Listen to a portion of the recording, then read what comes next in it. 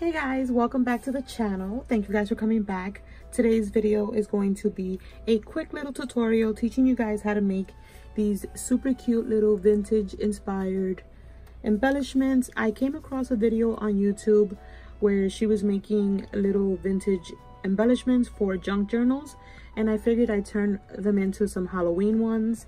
I'll have the video linked down below so you guys know what I'm talking about. But I think these turned out super cute, tons of layers and stitching. You don't have to make them with the stitching if you don't know how to sew. So the one that I make with you guys, I'm not gonna stitch. But this is the first one.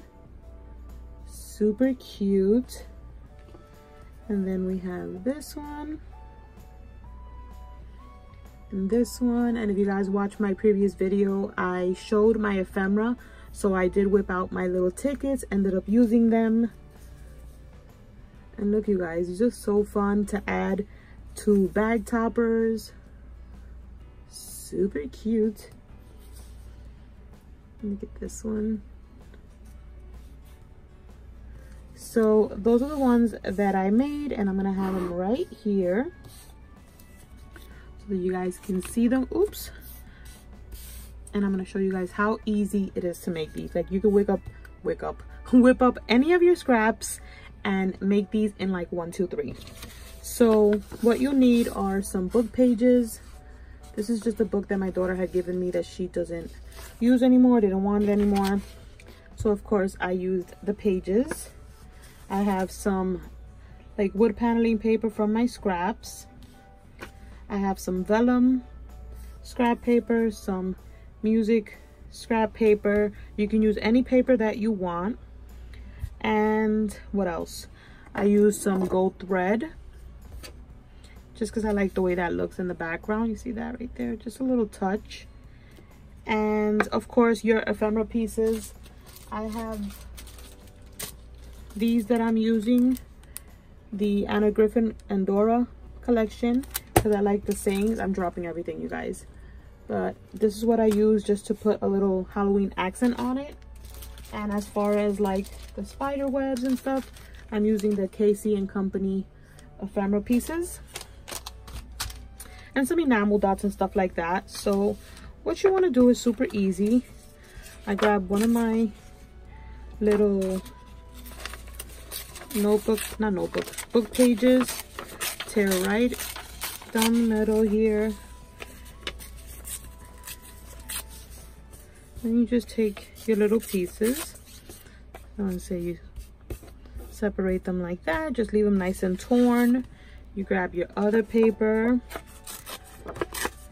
and you start making your little layers. So let's say I want this one like this. Maybe this one like that. I want the little book, the writing to show. And tear up another little piece. Do that. So now we have three different ones. And then for this one, I'll place that one there. And then some vellum right here. I need to find let me see if I can find another piece of scrap paper that'll go with this. Tons of scrap paper. This is when you can use your scrap. So I have this one. You can do some hearts. You can do little hearts on that one. And then little hearts on this one. And then I'll tear my vellum to go on both. And then you have little clusters. So then I'm gonna go through my ephemera. I'm actually probably gonna try and see if I have some other little ephemera pieces that I can use here for Halloween. Since I already have that little style, I might do this one. Oh, this is cute, like a little skeleton on that one. And creepy crawlers on this one. I'm gonna move this to the side. Now, what you wanna do is, I'm gonna use hot glue for these. but I did stitch on my other ones. Let me take a seat here real quick. Okay, so you want to just base basically build your little clusters. So I'm just to add some hot glue to the way I place them down. But remember, you can stitch it and it'll be just as cute. So we're gonna put this down this way. Our vellum paper. And then we're gonna use this one right up here. So that is super easy. Look at this one. is already put together, you guys. Fast and simple. So we'll do the same with this one. We're gonna put down our paper. And I love the way the paper looks all torn. And you can put these as little bag toppers. And look at that, you guys. See that? And then it's just about decorating. I keep forgetting to put the gold thread, but I'm gonna show you guys right now. So put those down.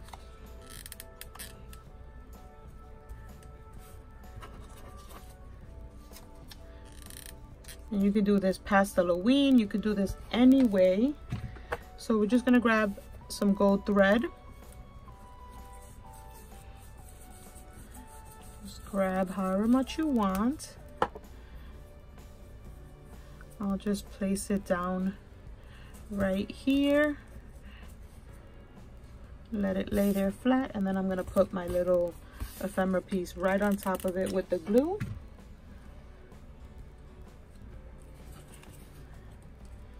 And then I'll cut off any excess thread that I don't want.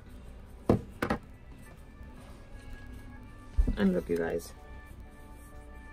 See that? And then what you want to do is you want to get your little enamel dots. Let me see where did I put that? Pack of ephemera right here. This little pack comes with a bunch of spiders and like the word eek. So you can put that like over. I'm gonna add the eek word to this one. I think it's cute. Let me see. We can do the little skull head for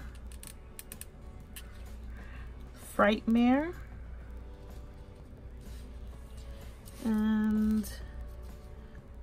this one says creepy crawler so we can put the little boot right here.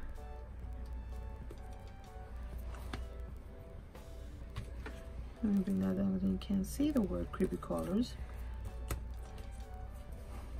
And then the last little touch is some enamel dots. Some little put one right there. A little like the black one for here. And for this one we can use a little polka, polka dotty, polka dot one.